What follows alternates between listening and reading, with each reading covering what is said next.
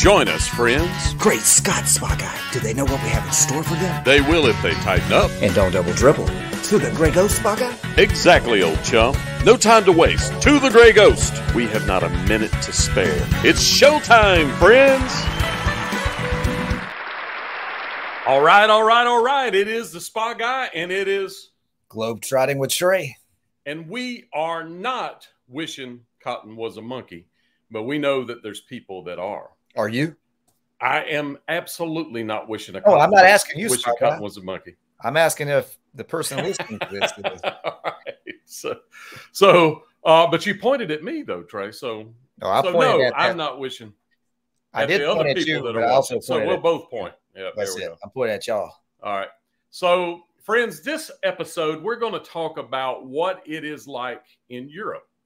Uh, I was fortunate enough to go to Europe and I visited several different countries. I was actually playing music in a band, um, and it was an Elvis related thing. Um, and I was very lucky to do that. And I ended up breaking off from the band and filming on my own and I was able to travel to a lot of different places. And my biggest apprehension going was, uh, for instance, I was going to be going to Germany. And what I expected to happen was I expected a whole lot of we want to see your papers, that kind of stuff. So I had a friend, and Trey, let, let's let's let me jump back to you. Have you ever been to Europe? I have not. Have you been out of the United States? I have not. Not even Mexico or Canada? Nope. Man, we got to change that. um, so I'm going to be going, uh, and we'll talk about this later in the year, but I'm actually taking a major trip later this year. And uh, I don't want to divulge what it is yet, but it is very, very exciting. And I'm actually studying for that trip Yeah. now, but we'll talk about that in a in a new episode in another episode. So when I went, I had a friend that came over. You can find this video, Chris, and I really can't pronounce his real name, but I know him as Chris. It's like uh, Christoph Nelposki, I believe is the proper pronunciation of his name. But Christoph contacted me and said, "Y'all are having a um, an eclipse, and the best place to see it, or one of the best places, is in Tennessee. So I want to come visit you from Poland, Hmm. and I want to watch the eclipse with you." And I said, "Great!" So he brought his family. They came from Poland. You can find the the video on the Spa Guy um, and on YouTube. And uh, Chris brought his family, and we watched the eclipse together. And I filmed it. I even had the drone in the air, the glory flying when the eclipse happened. So I called it, and I mean, man, it went basically pitch dark, like it was nighttime, and uh, for just minutes, it was it was pretty incredible. But Chris came, and we experienced that together. And after that, he told me, uh, you know, if you ever come to Europe, make sure that you reach out and we'll try to do something together. And Chris, by the way, is over all of the radio stations in Poland. Very, very nice guy. Uh, he's a good friend, has been a, a faithful friend. And what he offered to do for me at the time, I didn't even realize what it was as far as what what kind of sacrifice it was going to be for him. Okay. Right. So what he said was when when he found out that I was going to be coming and doing that tour uh, in Europe, he said, "Billy, do you have any days off?" And I said, "Yeah, I've got two days off that are together. We're going to be in the Netherlands." He Mhm. said, "Well, I will drive to the Netherlands and pick you up and take you to Germany to see all the Elvis stuff in Germany." That's a pretty nice thing for somebody to do for you. Okay. Yeah. Yeah. And it sounds good. So you think, okay, so he's driving over here.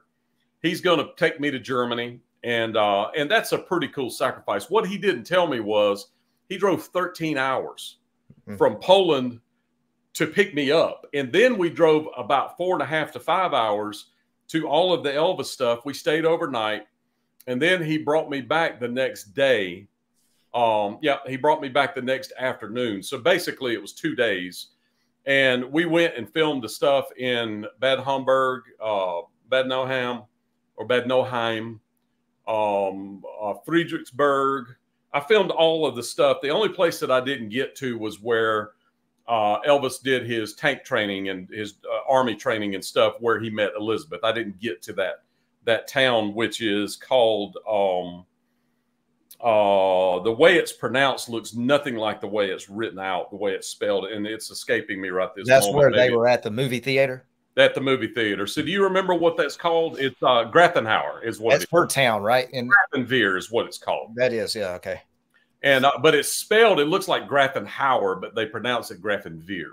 Okay. And uh, so that was where she was in the movie. He was in the movie theater, and she waited for him a couple of nights, and they started dating.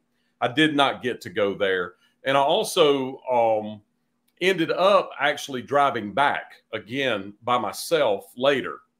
So anyway, I told you all that to tell you this. We started out when we flew in. I flew in with uh, one of the guys that was with Elvis in the Imperials, um, Jim. Uh, is Jim's name going to going to escape me? Uh, what is Jim's name, Trey? Um, Um, uh, guys, come on, Billy. Jim, I'll look it up. He's in my phone. does it start with an M? Jim Murray. You're right. Murray, Thank yeah. you. You got it.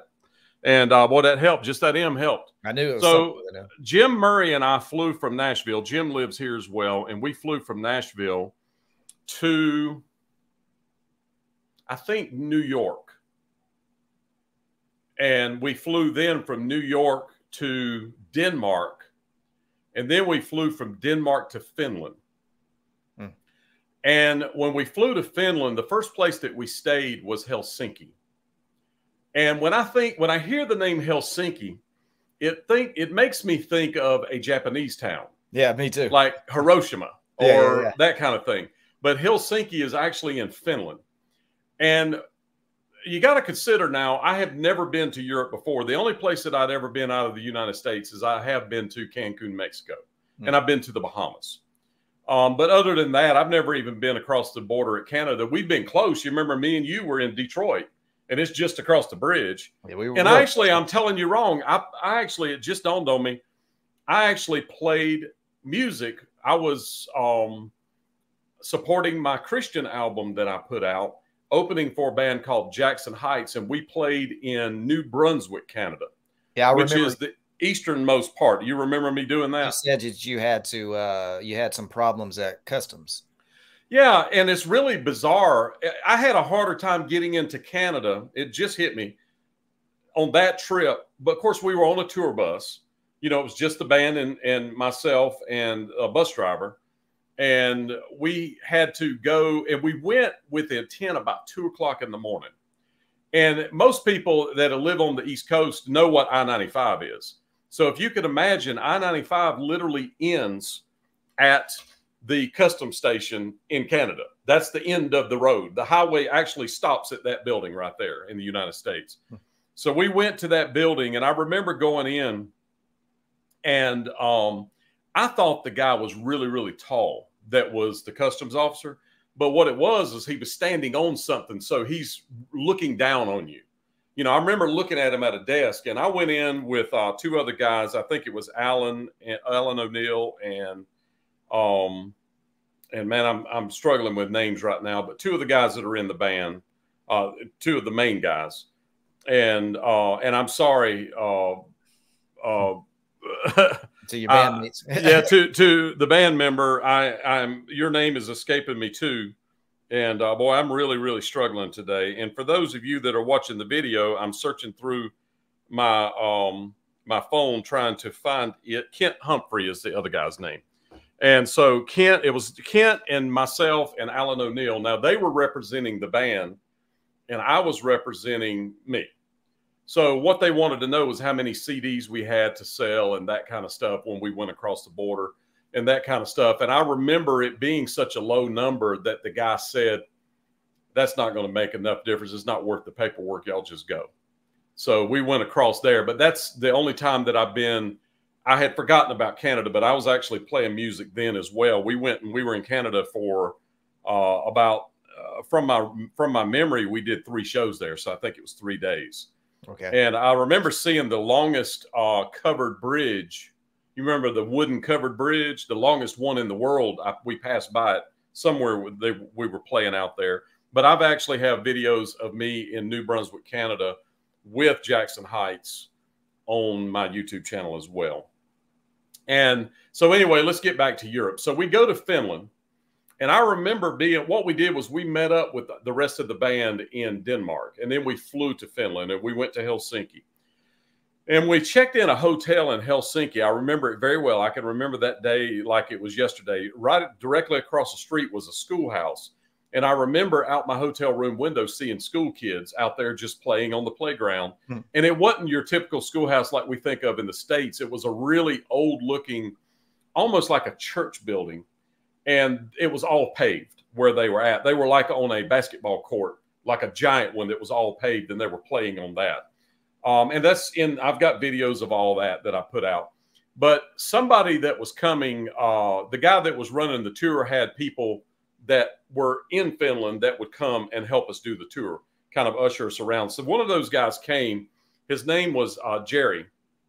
And I think it was Jerry that told me this. And Jerry said, you know, there's two album covers uh, that are bootleg Elvis records that were sold here in Finland. And on the album covers, they have Elvis in Finland in front of these famous places. One of them was in front of the train station in Helsinki. So he actually took me to the train station and I did a video about that where on the album cover Elvis is standing in front of that train station.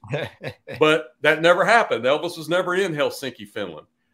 Um, but the what I remember about Europe, just this is just a blanket statement about Europe overall, was that the accommodations, the hotels were just beautiful. All of them were really nice.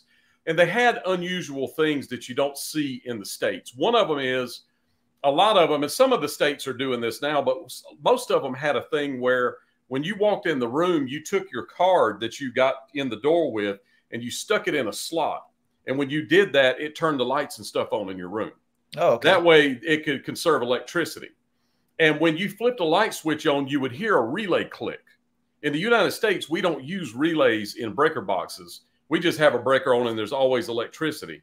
Theirs, they have low voltage that is used for the switch and it closes a relay and turns a light on. So you literally hear when you're flipping lights on and off, you literally hear the breakers clicking in the breaker box that's in your room. Turn on. And yeah, so that was something saving, that's that's saving energy. Yeah, because if you don't have the card in, all the lights and everything are out in the room. So when you go in we, and stick your card in. So wouldn't that save us money here? Yeah, and I, I have seen hotels do it here, but there almost every hotel did it. Here, I've seen it occasionally. So it's not been adapted here like it was like it was done there. But that's one thing that stuck out to me. Um, and I actually got out and walked around in Helsinki. And I remember that there was a, I walked down to where that bus station is, which was not far from the hotel. And as I mentioned, I, everything that I'm talking about, I filmed, and you can go back and find the videos. The long version I put on the weekly spa guy, which is my second channel. And I did that. I actually did, I don't know how many sets. I'm going to say there's six or seven blocks of four hours. So there's there's four hours here, four one hour shows, and then there's four one hour shows, and there's four one hour shows, and I think there's six or seven of those. So there's a lot of hours of shows. Me just walking around and showing you things that I saw that stuck out to me as unusual. And there was a casino that I walked by, but it's not your traditional casino like you think of here either. It was you know, here you you think of a giant casino building like in Las Vegas. There, you're just in town and there's a sign that says casino, and you walk in that building and it's a casino, and next to it is a McDonald's.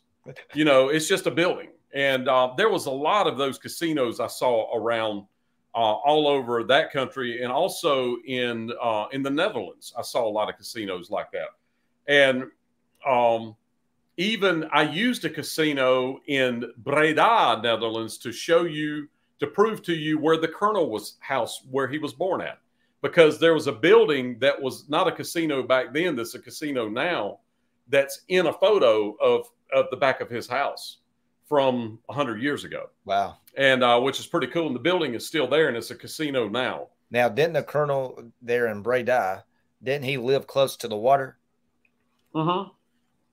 Yes, but um, Breda actually means wide river in in Dutch. So they're on a wide river, but but I think you're thinking of Rotterdam, which is where he moved to as a teenager to live with his aunt and uncle and work at the shipyard. And that's where he left to go. So the river at Breda, you could use a boat to go to Rotterdam. Rotterdam, you could go to the ocean. That's where the, the ocean liners would leave and go to the United States. So did you go to the place there too? Didn't you? Did you cover both of them? Like, did you? Absolutely. okay, yeah, because I'm I'm I'm seeing something in my brain like yeah. Skims. But and, that's a different country. Right now we're in Finland. So if you imagine, yeah. I'm gonna try to point it out to you the way I remember it in my brain. Russia is here. Mm-hmm. And I, it's going to be backwards on the screen. So just imagine Russia's here, right next to it's Finland. Below that, or uh, there's a, a big body of water here. Uh, what is over here? It is where Jerry Scheff lived at, at that time, the bass player. Um, Norway is on the other side of the water. Below Norway is uh, Denmark. To the left of Denmark is, and to the left and kind of up is the Netherlands. And, or actually to the left and down would be Netherlands. To the right would be Germany. Then below that would be, um, Below the Netherlands would be uh, Belgium. Below that would be France. Hmm. So I know that doesn't make sense unless you're looking at a map. But the only reason I remember those things is because it actually literally helps, as Trey and I have said before, to go somewhere. If I'm looking at things on a map, they don't mean anything to me. If I go there and then look at them on a map, it's like, oh, this is here, that's there. It all starts making sense. And the reason that I know Belgium is below the Netherlands and France is below that is because I took the train from the Netherlands to Paris and we went through Belgium. And so it's just little things like that that stick with you. But anyway, let's let's go back to Finland. So I spent a lot of, we stayed at a lot of different places in Finland. We played many, many different towns, and all of them had really, really nice, I would say, um, I would guess that they're government run um, auditoriums, if you will, to play in. And when I'm saying nice, I'm talking about primo, something like you would see in New York City, but maybe even better. Hmm. And just really nice. Now, they weren't giant. Uh, I think the biggest one we played at was about 1,500 seats, but most of them were 500 to maybe 900 seats. But nice stages, nice stuff. And then they they uh, they did they provided what they call backline and we're we're talking band lingo now. So when we show up, I'll play bass in this band. My bass amp and everything is sitting there with the cable, or or without a cable. Most time they would have a cable. I just plug my bass in, and then when I leave, I leave it there and they load it. So I I bring my bass in and I'm ready to play. and uh, so they would provide you, but you would ask for the kind of amp that you wanted, and when you got there, it was there. And I I asked for an Ampeg, and every gig that I played, there was an Ampeg amp sitting there. And uh, so that was a lot of fun. But anyway, we played, we stayed there, but we did not play in um, I think we stayed overnight and got up the next day and drove to a town called uh, Oulu. O U L O O U L U, I think is right. O, Oulu. And uh, that may not be right, but I think that's right. And this little town was on the water. And they say it's really close to Russia, relatively close to Russia. Okay. So it was on the water. And this was, uh, this would have been in, I think we went in April, maybe. Um, let me let, let me look at my phone and I'll be able to tell you. I don't want to I don't want to tell you wrong because what I was going to say is it's O U L U. Yep. Which is in. So that was April 19th that we arrived in Oulu. And evidently we flew from, I'm looking now because I'm in the airport in Oulu. So evidently, and you see it says Oulu Airport right there, O U L U. And it says April 19th. So they had some really cool things, and I've done videos about this. But where we were at was where the the hotel that we stayed in, which was a really really nice hotel, by the way. Um, looking out my hotel room window, you could see this because in April the thaw was just happening. It was still frozen and it freezes so much there that that water that's out there is actually frozen over and you can walk on it. and I went out there to the left of where this photo is at, actually to the left, to the other side of where that photo was at. They were having, I saw some people out there trying to dig. There was a hole in the ice. There was a, uh, like a dock, and there was a hole in the ice, and there was a girl and some people there, and they were trying to dig uh, a chair or something out of a hole in the ice. And I walked up and just because I'm filming, you know, and I said, "What What are y'all doing?" And she said, "Well, um, I do a game show, and the game show was shot here, and we're trying to clean up after the game show." And I said, "What do you mean a game show?" She said, "Well, it's on YouTube." And I was trying to think of um, um, what it's called. I think it was called Ice Hole. Um is it's ice hole. What is the uh, show that the the the rich people do where they try to buy into your idea? Um um somebody's yelling at the at the radio right now. I was now. about to say let's make a deal, but no, that's something else. It's no, uh, you know what I'm talking about. Yeah, with, well, uh, Mr. Wonderful Cuban. and yeah. Mark Cuban and all them. What's that called? Hmm. Oh man, we're blank. Anyway, uh, I, I, don't want to get off on that too much because I don't want to lose my train of thought. But basically, the idea is, is a person comes to pitch their their business idea, but they have to stand in that water in the ice hole, and and pitch their idea. Okay, so they have to try to stand there and get somebody to buy their idea while they're in that that water. And sure enough, I looked on YouTube and the episodes that were shot in Oulu in that ice hole out in the harbor were on there where people were standing there trying to pitch these business ideas, but it was ice hole something. And um, but anyway, I, that's one of the things I saw. Another Shark thing Tank. that I saw, huh? Shark Tank. Shark Tank. So it was it was like ice hole Shark Tank, but that's I remember watching your videos. I remember you you out there and seeing people get in the and that's the business card thing that I was talking about, where you put that in to make the lights work. Oh, you have yeah. to stick it in there and leave it in there, and then the lights come on. You see it that? Okay. Yeah. And uh, so I wanted to show room. you it activates the whole room. So another thing was that I thought was very interesting is uh, this policeman. And this policeman stands in the harbor real close to where the ice hole was. And uh, let me find him because I want to show you a picture. And if you haven't seen this stuff, make sure you go to my channel and you can watch this. But here he is right here. It's just a real fat policeman, and he stands right there overlooking the harbor. I remember. And I've got videos of me by that, and it's just a beautiful little town. I really enjoyed the town. I walked all over the town. I went in churches that were really, really old. There's a castle there that was kind of like a fortress that's like from the 16 or 1700s from my memory. It might be older than that. There was churches there I went in. And every town that I went to, I tried to spend time going – and seeing the local stuff. Um, another place that we went in Finland, and by the way, Finland is where saunas would be made at. So every hotel you went to generally would have a sauna or have something of that nature. And we went and stayed at another place, and I cannot think of the name of the town, but it was where I did a video where I went into Hesburger, which is a copy of McDonald's, by the way. But instead of ketchup, they use mayonnaise. So over there, they give you uh, French fries with mayonnaise instead of French fries with ketchup. But I wanted to experience McDonald's, by the way, and I did go to some McDonald's, and it tastes exactly like it does here. Exactly. I opened the burger up and show you on the video, and it looks exactly like that. But I also wanted to go to Hesburger. So I went to Hesburger, and there was a young man there on a bicycle. And he went in in front of me, and I couldn't tell how old he was, but I figured he was 13, 14, 15 and I turned out to be right. And he was in front of me and he tried to buy food. And when he used his credit card, his debit card, it wouldn't work.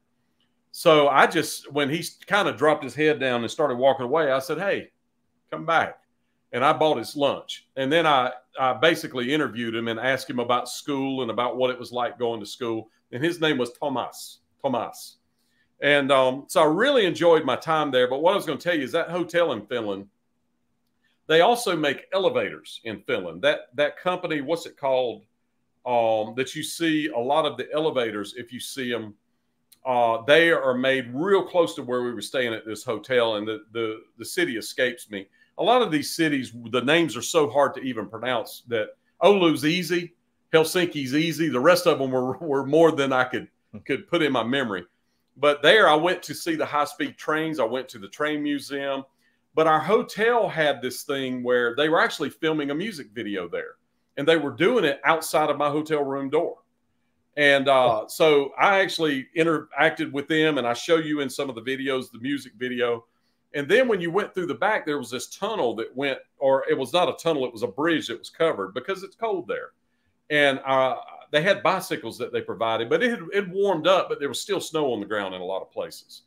But anyway, you go through that tunnel and you go to the other side, and over there, man, they had uh, indoor swimming pool, they had saunas, they had um, just a ton of things that you would think about that you would associate with Finland. Right. Um, another thing that they had that really stuck out to me was no air conditioner or heater in your room. They had, uh, and I shouldn't say no heat. There may have been heaters. I didn't need them, but they had no air conditioners in your room. But they had this giant thing that looked like a door that was about that wide, but it was probably eight feet tall. And if you opened it, there was louvers with the screen over it, so you could get outside air because it was cold outside. That was your air conditioner. Oh, so you would literally open that, so Excellent. critters couldn't get through and that kind of stuff but that's the way the rooms were. I don't remember any of them around there having air conditioners in the rooms. They're saving money, aren't they? Well, they didn't need air conditioners. There was no use for them because right. it stayed cool year round. Yeah. The lights, no air conditions, conditioners. But that was Finland. So Finland really stuck out to me. And let me let me try to think of that um that elevator manufacturer in Finland and uh, I'll tell you real quick because. Um, How long did you stay out there? I was in Finland. We probably stayed in Finland. I'm gonna say eight days.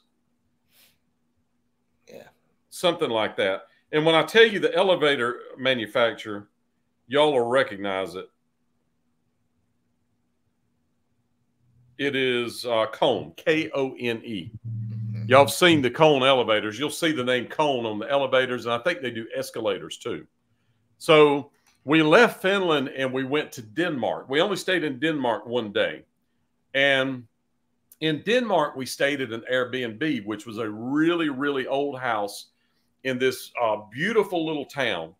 And in that town, um, you were able to basically, there was a church in the middle of town with a big brick fence around it kind of round. And so when you went to town, you drive around the church and it would jut off into the different streets for the different town.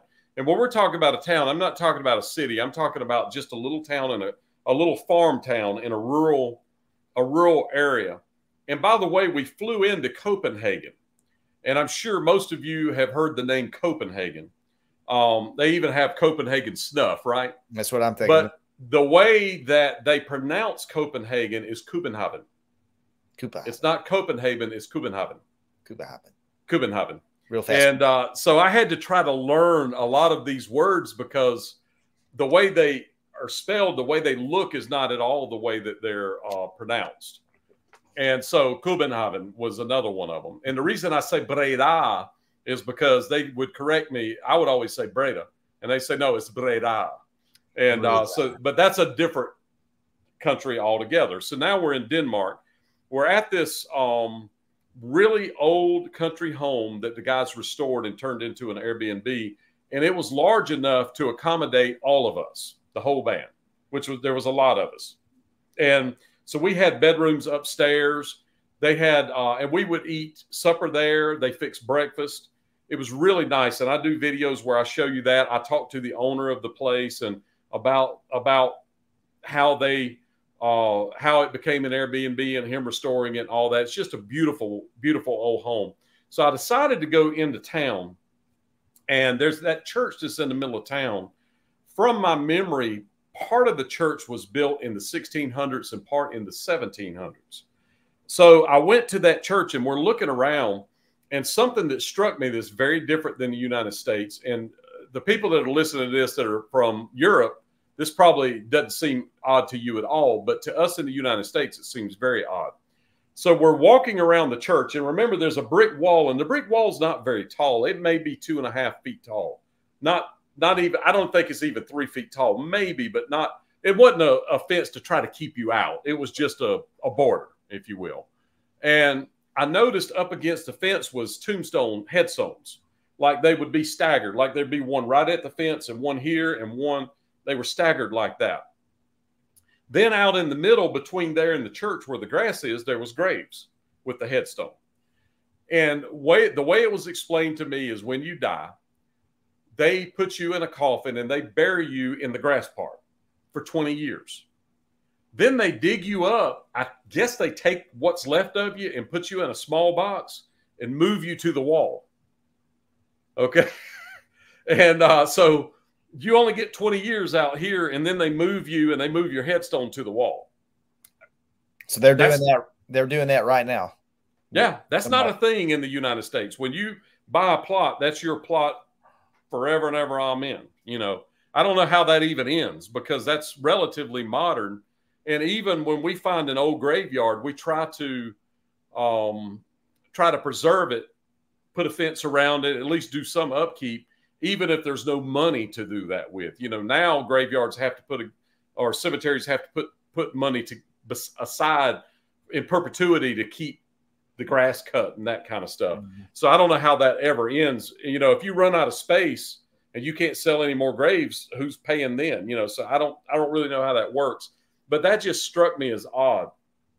The other thing we did is we went into a town that was a, a, a, city that had the oldest building in Denmark there from the 1300s. It was still in use today, and it was in a line of other buildings. It was like in a city block.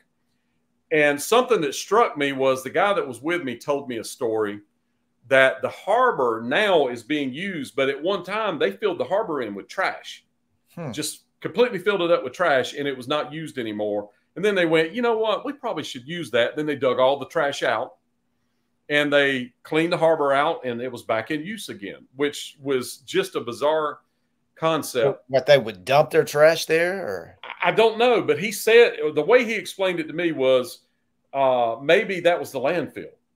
And they were just using the harbor as the landfill and then decided to clean it up at some point.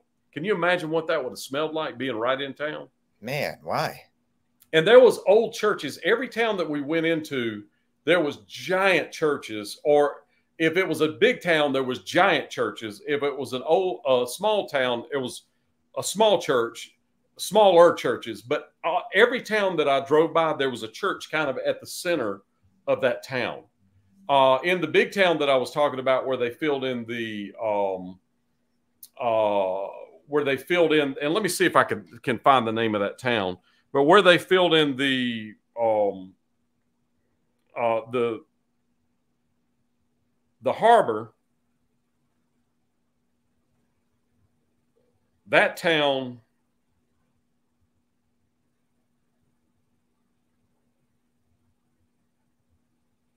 Yeah, I'm gonna look that up and see. Maybe they have photos of it. And this is the church, by the way, in the small town.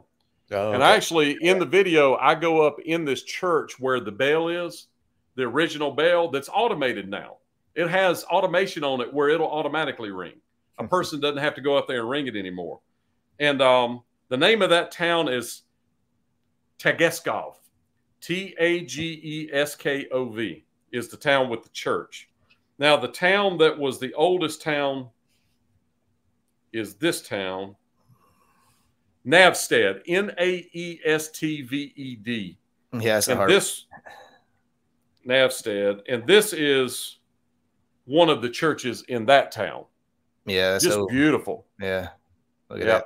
Wow. And uh, it was just fascinating because in America, to find something that's even from the 1700s is hard to do. There, there's things out there, but there's not much. There it was nothing to run into something that was 1300s 1400s 1500s 1600s 1700s i mean old stuff. And i really enjoyed my time in denmark but we only stayed overnight. The next day we got up and we flew to um, we flew to the netherlands which some people call that holland but it's really not holland the Netherlands are states or provinces, and two of the provinces are North and South Holland. Uh, and one of those would be where Amsterdam is, but most people would still call that area Holland. So when you hear about the colonel, they always say he was born in Holland, but technically Breda is not in Holland. It's not in North or South Holland. It's in another province. So we ended up going there to a town called Eindhoven, E I N D H O V E N. and Eindhoven is where the compact disc was invented. Oh, okay. Um, yep, it's Philips, P H I L I P S. You've seen that on TVs and compact disc players and all that. And they are a place that's way ahead of their time as far as uh, electronic inventions and things of those na- of that nature. They claim to have. Uh, I've got a video where I go into the Philips Museum and they claim to invented the light bulb, but we know that Edison did it, and uh, before the, before they did it, but they make a claim to it. They also invented the. Um, uh, I think they're responsible for the cassette, if I believe the the tape cassette, and all kinds of other stuff. And I'm not taking away from Philips; they did some amazing stuff. Um, but they claimed the light bulb, and I just I protest that. But the rest of the stuff, when you go in the museum, the things that they created are, are unbelievable. They even um, have a three, and I never made it to the bridge, but they have a bridge there that is 3D printed. They actually 3D printed parts and built a bridge and uh, different stuff like that. So it's a real high tech community. And we stayed there and played there at a place called. Hmm. Mm-hmm. Um, Got to go to that phone again. Yeah, I'm gonna have to go to the phone and um, Eindhoven. In that museum, did they show how they made the discs? Uh, no, but that was their, and I'm sure they did. I just didn't see it. I didn't take all that in. But Eindhoven, they had, um, and to give you an idea about all the things I filmed in Europe, there's 10 full SD cards, five hours each. Yeah. Tell and them how you were. I, I, got 13 of them plus two small ones that I flew my, the glory. And guys, I was terrified trying to make sure that I did not lose those things before I got back to the United States. I was, did, I was very, very scared about Did you it. keep them in a bag and? Yep. Kept them on me in, in case my room got broken into or something of that nature. Yeah. I didn't want to take a chance with any of it. So you kept them on you at, at all times. Yes, because I was just terrified. Now something, uh, something that's cool that uh, that I got to eat in Eindhoven is is this. They had really good coffee, and they had these things called stroop waffles. Okay. And I would eat stroop waffles every day for breakfast, and it's kind of like a um, it's kind of like a waffle, but it's really hard, and it's got like strawberry between it and uh, and you could dip those in your coffee. It was really really good. There was so many things that were um, that were really nice about about Eindhoven. And I don't know why this thing's trying to play a, a, a song. What in the world? You know, Tulsa, that's Tulsa James coming through. Yeah, it's it was one of those things where I would say to, uh, it was called the Effenaar. So if you look up the Effenaar, that was the first place that we played there, and you see it's called the Elvis concert. So we played there, and I ended up after I left the band and went back to stay by myself. I stayed in Eindhoven, really close to the Effenaar, where I could see, I could almost see the train station from my hotel room, so I could go travel. And I went all over Europe, and I could see that we're going to run out of time on this one, but we'll finish up with a couple of things, and we'll talk about because I've got so much stuff that happened in um, in the Netherlands because I spent weeks in the Netherlands filming every single day, traveling by train. uh, going and visiting different people, and it was very fascinating. But let's go back to I've got a little thing that I did. Um, so let's let's go back to the Effenaar. We we go and play at the Effenaar, and it was a uh, a really nice venue. Every place that we played had just excellent venues, as I mentioned before, in every country. All of them were just top notch. But I don't think the Effenaar was a government run thing. I think that was a private uh, uh, venue, if you will. And a lot of these places had multiple uh, venues inside of them. So you could have 10 different bands playing of different sizes inside that. But every, almost every single one of these, by the way, what's funny is you could take the same group of people and do concerts in the United States and nobody would show up. Yeah. You do them in Europe and every so every show was sold out. Every one of them. And I think on that particular tour there was 29 shows. All of them sold out. And so it's just a different world over there. They really embrace um, they really, really, really embrace music for one thing, and they appreciate people that go and try to spend time uh, doing music and try to spend time um, uh, entertaining. They they really appreciate that and will show up for it. Now, something that I did encounter in the Netherlands was gypsies. Mm. Okay. But you, you know what? I'm telling you wrong. Let's let's talk about that real quick before I forget it. We encountered gypsies in Finland. Oh, okay. Um, I'm sure that it was in Finland. And when I say gypsies, um, and I'm sure that it was in Finland, and it's in some of the videos. But when I say gypsies, I'm talking about um, they all wore these dresses that had kind of like you remember in the 1700s where they would show you that they would wear a bustle under their dress, yeah, like around their butt to make the. A lot of them looked like they had on bustles, and they were very nice to me. And they like told it. me Thank you very much. some of them may actually be watching this video. A lot of them knew me and watched the channel and were familiar with what I was doing, which blew my mind, you know. But Yeah, they they all dressed the same and kind of ran together, had similar haircuts or similar hairstyles, similar dress, similar everything. But it was fascinating. Very very nice people. And my uh, uh, let's just go back to Finland uh, one more time because we've got that's that's our sign that we have three minutes left. Um, I highly recommend going to Finland. It was a beautiful, beautiful country. I never felt unsafe there. I traveled a lot by myself.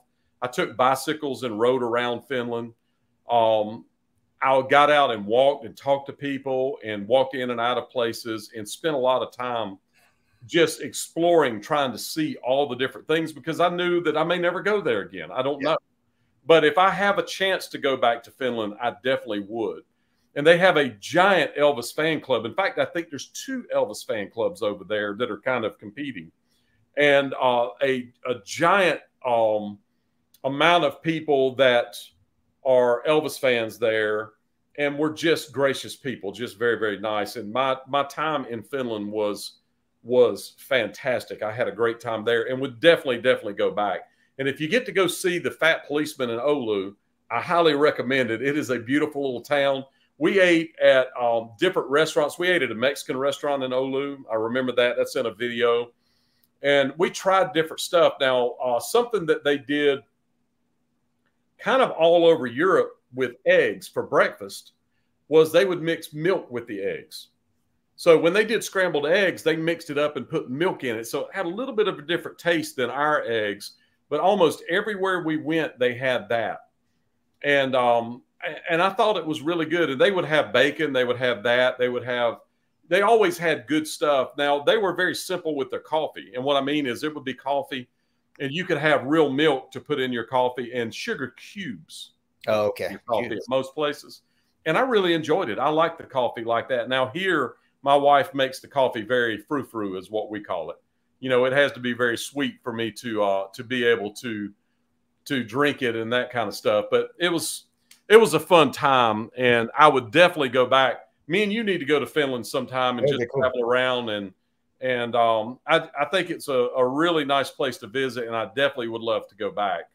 And because there was all kinds of things because of our travel schedule that I didn't get to see, but because we were playing at night, a lot of days I had time to go spend four, or five, or six hours at, uh, filming.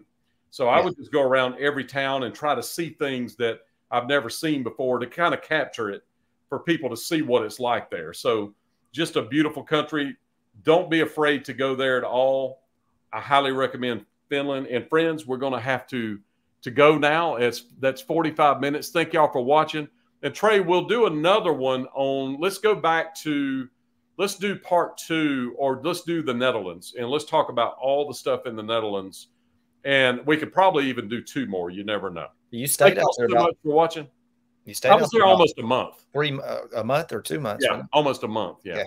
yeah. And I was there a long time and it was a lot of fun.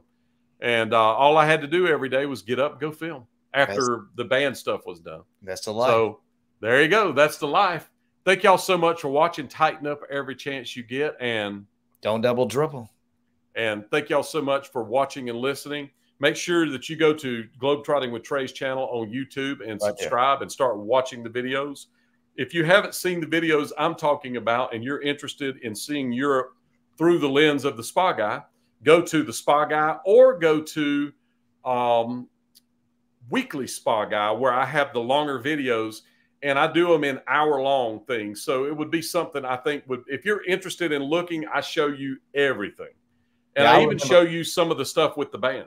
Guys, they're good workout videos. Say you're doing a little workout, you can put your phone up there, just press Billy's one hour long walking around in Finland video. I think because that's what I used to do, Billy, when I first started watching you. I would, you That's know, it. do some little workouts and um, just have you playing.